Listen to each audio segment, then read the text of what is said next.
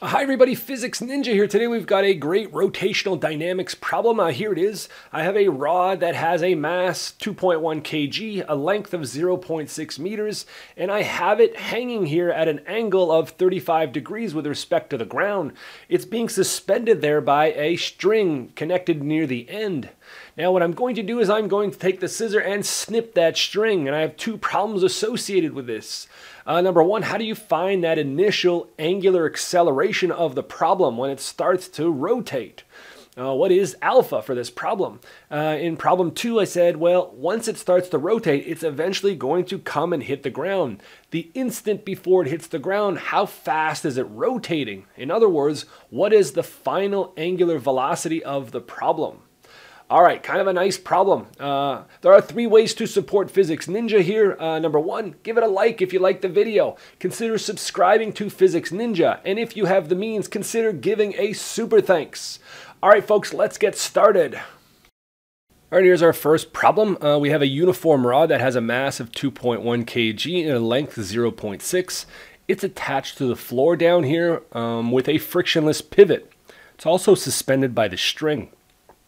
Now the initial angle that this rod makes with respect to the ground is listed as 35 degrees. We then cut this string.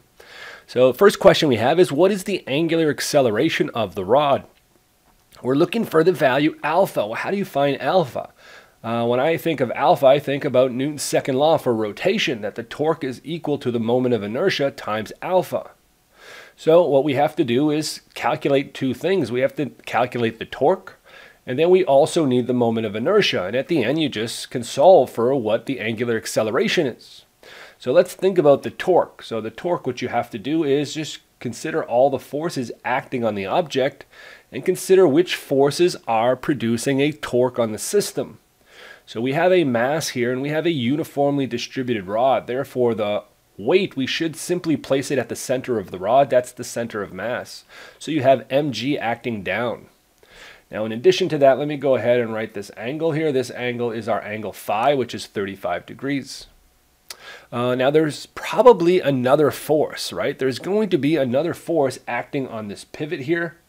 And I'm not really interested in this one because whatever force is acting right here at the pivot will not produce a torque because the distance to the pivot is zero. So now let's think about how you calculate the torque, this left-hand side. Uh, if I remember, my torque definition is RF sine of the angle theta if I'm looking at the magnitude of the torque. And that has to be equal to I alpha. So what are all these values over here? Okay, so R is the distance to the pivot. In this case here, it is this distance, which happens to be L over 2. My force is the weight, so I know that. That's simply mg. But now we have to worry about what is this angle theta here? Okay, so for this one, it's a little bit trickier. Um, the angle theta is actually the angle between um, the r vector and the f vector. So what I would suggest to my students is you redraw both of them. So r is a vector that goes from the pivot to the point where the force is being applied. And the weight is right down here. It's simply straight down. That's mg. That's our force. Okay. Now, the angle theta, the way it's defined in that torque equation, is this one. All right, well, I don't know that one right away, but I can do some trigonometry. I do know what uh, this other angle is going to be on the other side because I have a right angle triangle. So I should know just by looking at this diagram that this angle right here is 55 degrees. That means that the angle theta um, is should be equal to 125 degrees. The nice thing about the sine function that appears here for the torque is that you will find that the sine of 125 equals to the sine of 55. That's the complementary properties of uh, the sine function. So it actually doesn't matter which one you take. However, you cannot take this angle phi in this definition of torque. That wouldn't be correct. All right, so we have all the terms here to calculate the torque. So I'm going to go ahead and substitute them in. So R was L over 2 F is the force, and now I'm simply going to write sine of 55 degrees.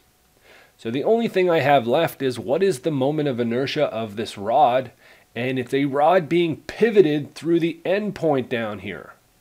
So for that, you have to look at the equations, And there's one equation that writes the moment of inertia through the end of a rod as being this one third.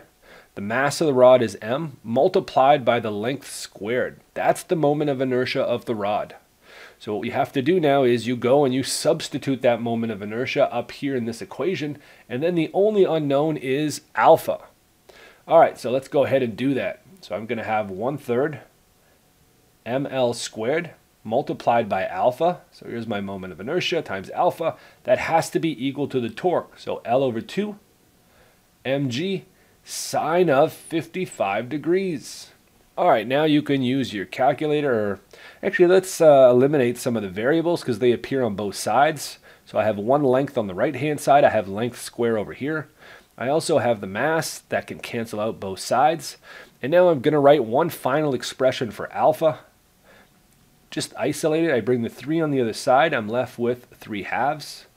I still have g and I still have sine of 55 degrees. And I'm going to divide that by the length L. So now we substitute 3 halves, little g, I'll take 9.8, sine of 55. And my length of the rod, the total length here is 0.6 meters. All right, you go ahead and you put that in the calculator, you should get 20.1, and that's always measured in radians per second if I have all the units right. So I go ahead and look at the choices, and that looks like choice A for me. All right, not too bad. All right, uh, here's question B says, what is the angular velocity of the rod just before it becomes horizontal and hits the ground? Okay, and we've got five choices here, so now we have to think about how to solve this problem. So let's go to the next page. Just give myself a little bit more space. All right, so uh, what students often do for this problem is they write down kinematic equations. All right, they might write this one down. They might say, well, I have some angular displacement, um, angular displacement equation looks like this, and maybe I can solve for the time and then substitute and solve for omega final, right? Uh, however, this approach is actually wrong because alpha is not constant, okay, for this problem. Alpha changes as the rod's angle changes. So what we have to use instead to find what the final omega is uh, we have to use conservation of energy, right? There is no friction in this problem, so conservation of energy works quite well. So if you think about conservation of energy, we think about the rod in the initial configuration, and then we think about the rod in the final configuration.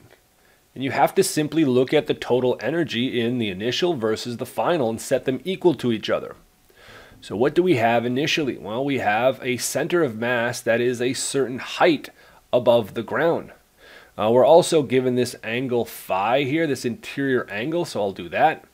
And then in my final configuration, I have the center of mass that is flat. so uh, what do we have? Well, initially all we have is, think about the total energy. Uh, the total energy at any point you can write as gravitational plus kinetic, okay? And then at the end you have to have gravity final plus k final. And this here would be the initial gravity. So some of these terms are zero. For example, this initial kinetic energy is zero. And if I set the ground to be equal to the zero height, that means at the end I don't have any gravitational potential energy. So all we're left here then is, what is this initial gravitational energy? Well, it's mgh. And then that has to be equal to my final kinetic energy. The only thing happened at the end is that this whole rod here is rotating with some omega. Therefore, the kinetic energy is just rotation. It's one half I, and it's the moment of inertia through the end. The rod is rotating through that pivot point, multiplied by omega final squared. All right, at the end, this is what I'm looking for. I simply have to substitute all the values. Let's think about this height h first. Well, the height h you can write here as, uh, you can do some trigonometry. This is L over 2. So what you have here is L over 2 sine of that angle phi. All right, and then we can substitute the i in the end here uh, on the right-hand side.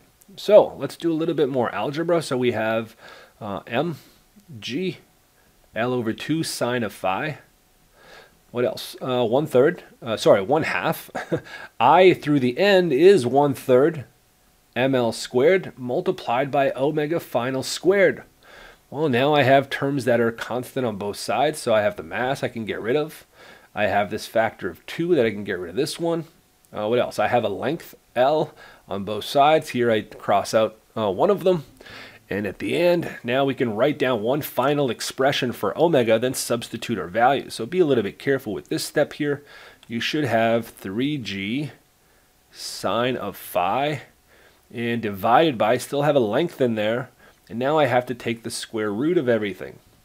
So now we substitute the numbers. So we get 3, 9.8, sine of 35 degrees, divided by the length, which is 0.6. I put the numbers in the calculator and I should get 5.3 radians per second.